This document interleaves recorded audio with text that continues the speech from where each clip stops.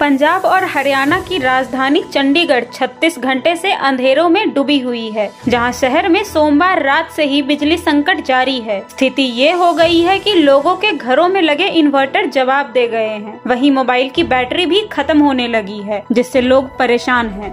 वहीं एस्मा लागू होने के बावजूद बिजली कर्मचारी हड़ताल को खत्म करने के लिए राज़ी नहीं है। ऐसे में चंडीगढ़ प्रशासन ने सेना से मदद की मांग की थी, जिसके बाद मिलिट्री इंजीनियरिंग सर्विस की team western command Chandi Mandir से चंडीगढ़ पहुँच गई है और टेक्निकल टीम बिजली सप्लाई को चालू कर रही है। हालाँकि बताया जा रहा है, बिजली सप्लाई को पूरी तरह से दुरुस्त करने में काफ़ी टाइम लग जाएगा। उधर इसके विरोध में चंडीगढ़ ट्रांसपोर्ट अंडरटेकिंग कुछ देर बाद बसों का चक्का जाम करने जा रही है। आपको बता दें कि इस मामले को संज्ञान में लेते हुए पंजाब एवं हरियाणा हाईकोर्ट ने बिजली विभाग के चीफ इंजीनियर को पेश होने के लिए कहा है।